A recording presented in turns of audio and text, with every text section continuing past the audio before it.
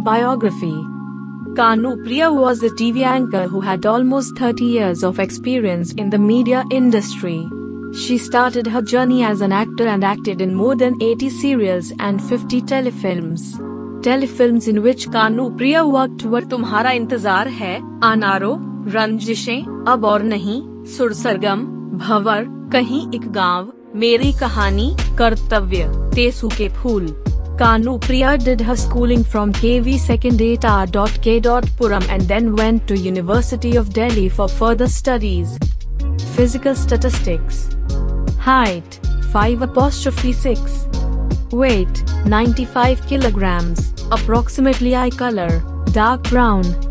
Hair color dark brown. Relationships. Kanu Priya was married. She has two daughters, Ojaswini Gul, actor, and Guncha, actor. Career Kanu Priya began her career as a freelance actor, voiceover artist, scriptwriter, theatre artist.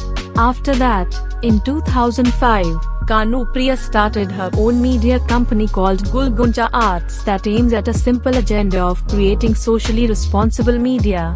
In her company, she was primarily working on creating issue-based documentaries, shows, and short films.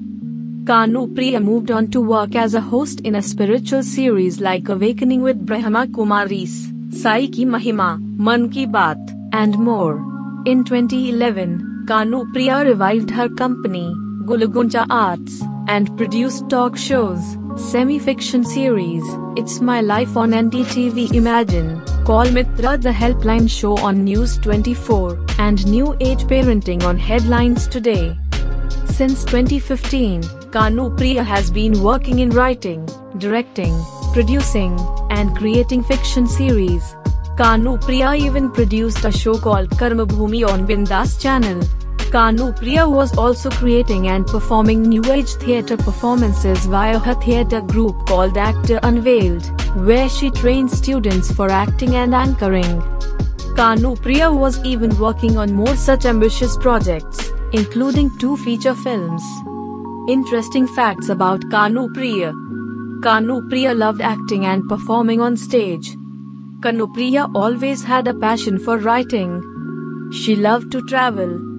Kanu Priya was a host in the TV show Awakening with Brahma Kumaris. Death Kanu Priya died on the 1st of May 2021 after fighting the deadly coronavirus. TV anchor Kanu Priya lost a long battle to deadly COVID-19 and left for the heavenly home. BK Shivani shared the news of her demise on social media. Her last post on Facebook said, Dear Facebook family, everyone I, Kanu Priya, am currently in the hospital fighting COVID. Requesting everyone who knows me or doesn't, please start praying for me.